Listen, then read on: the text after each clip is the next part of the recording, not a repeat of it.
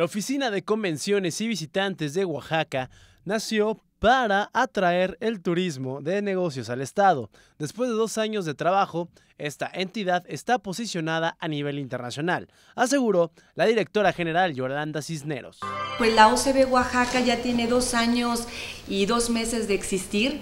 Tenemos ya eh, trabajando arduamente por el segmento tan importante que es el turismo de congresos, convenciones, ferias, exposiciones y viajes de incentivos. Y bueno, como ustedes saben, OCB Oaxaca eh, nace a partir de una demanda histórica que tenía el sector, el sector turístico, ya que el Estado no contaba con una convention bureau, con un eh, organismo especializado para atender este segmento tan importante y que bueno, eh, había más de 56 en el país y solamente Oaxaca no tenía una OCDE.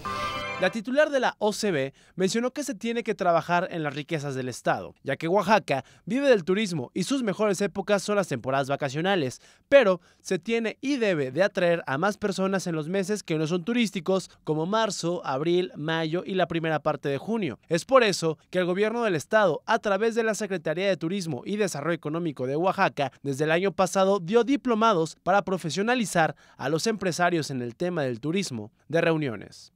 Yolanda Cisneros dijo que se tiene que difundir las bellezas de Oaxaca en otros lugares del mundo, atrayendo las convenciones de las grandes corporaciones. En este mercado tan importante que es el turismo de las reuniones, el segmento MICE, como lo conocemos a nivel internacional, que son las Meetings, Incentives, Conventions and Exhibitions. Entonces, bueno, pues estamos ya posicionándonos a nivel nacional haciendo una ardua labor de manera eh, profesional y competitiva.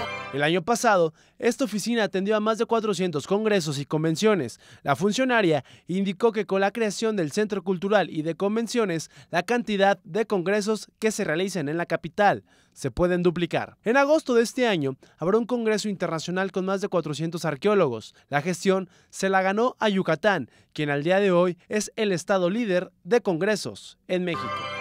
Por supuesto, pensando en más talleres, acabamos de, estar en, un taller muy importante que era parte del módulo de turismo de reuniones, que fue el de mentes creativas. Eh, ahí específicamente, a través de las rutas económico-turísticas, la gente puede crear productos. Recuerden que...